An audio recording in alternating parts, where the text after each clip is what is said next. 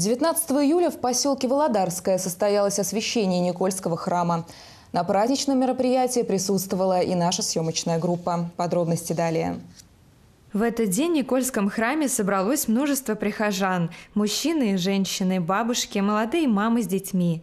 Поводом послужило долгожданное событие – освящение храма. Для православного прихода поселения Володарское, для его жителей – это большой праздник. Мы этот праздник очень давно ждали. Очень долго строили. И слава Богу, с Божьей помощью.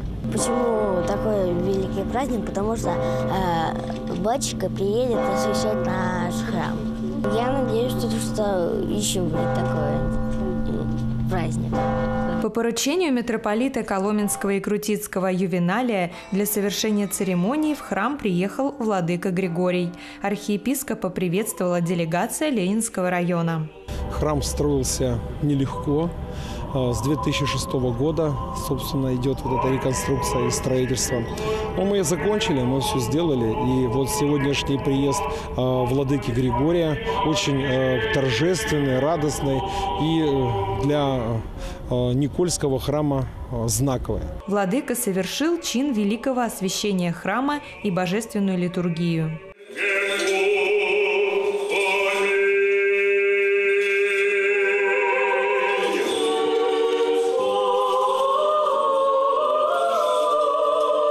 Под звуки монастырского хора священники обращали молитвы святым великомученикам. Верующие, принимая участие в общей молитве, совершали и свое таинство. Праздник большой, освящение нашего храма, нашего дома.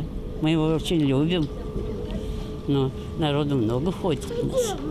Так что мы счастливы, что у нас такой храм есть. Праздничная служба завершилась крестным ходом. Этот памятный день, особенно светлый и добрый, конечно, запомнится прихожанам и останется в их сердцах частичкой теплоты.